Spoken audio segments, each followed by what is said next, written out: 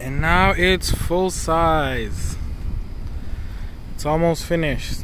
A few more left.